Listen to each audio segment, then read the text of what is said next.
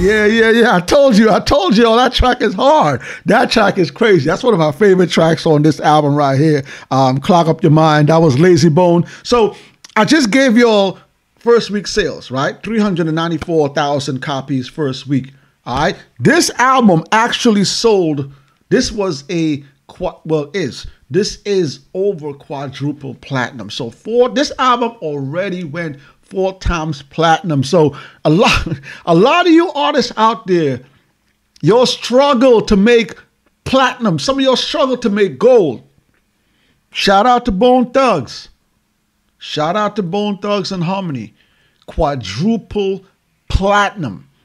That's crazy. That's big numbers. That's people leaving their homes to go out to the store to buy an album. Not like today when you can just press a button and download an album. Four times quadruple platinum. Shout out to Bone Thugs for those sales. We're gonna jump into the next track. Another bang. This, this this right here.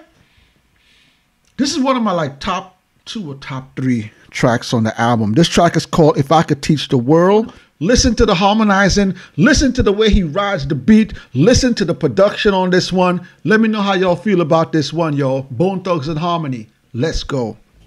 We stand as united and fall divided. My thirst is the tightest, cause God is like guidance. They only define us, the skillers and finest, the critics and writers. Next that when they type and I stir it. How must ourselves if we can? No more murder. If I could teach the whole wide world to be high, that's why I stay high. That's why I yo listen. That track is hard. That track is hard, yo, yo. Um, I'm really enjoying the album so far. But um, let's before we hit the final track we're gonna talk about on this album, let's hit Billboard 200, yo. Told y'all earlier, third studio album. Gave y'all the first week numbers, 394,000 copies. Told y'all the album went four times quadruple platinum.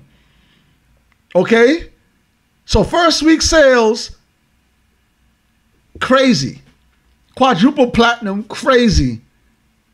Billboard 200, the album peaked you you already guessed it. You already guessed it. Album peaked at number one. You, you, I'm, I'm not even gonna stay here and try to fool y'all on this one. So album peaked at number one on the Billboard 200, uh, 200, and it also peaked at number one on the Billboard's R&B charts as well. So it peaked number one on the rat on the, on the Billboard 200 charts, and it also peaked number one on the R&B charts too. All right, crazy. So yo, final track we're gonna talk about on this album this track right here is hard. And I've been saying this for the whole album. This track is great. But another great track, this track right here, um, listening to this track, it it just brings back uh, a lot of memories about uh, friends that I have, friends that I've. It just it just puts me in the mood. So um, this track right here is called Family Tree.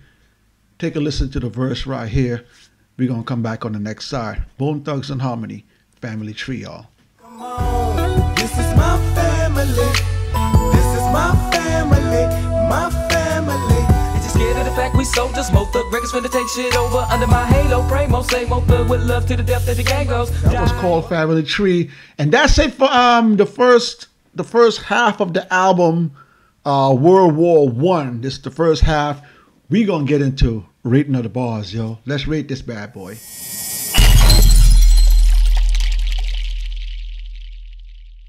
All right, so you heard. Listen, you guys heard. You guys heard what I heard.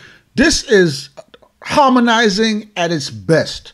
Okay, the members of Bone Thugs and Harmony at this time in their career, again, third studio album, and who puts out a double album three albums in? That's ballsy. All right, so so that alone is amazing. So I think this this album right here, this is a this is a, a perfect example of a group that is in sync and to be able to to harmonize the way that they're harmonizing in this album riding on the beat giving you great storytelling um, memorable songs. Listen this is a, a, a amazing uh, feat of harmonizing. I love the harmonizing on this album